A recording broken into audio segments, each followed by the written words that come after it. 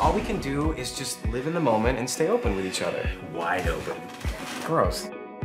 Patrick has a little rash, and he's convinced that he has AIDS.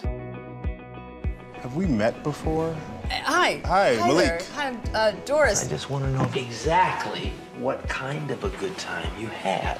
Told your friends about us. I don't know what I'm doing right now. Can you please tell me what to do? Hi.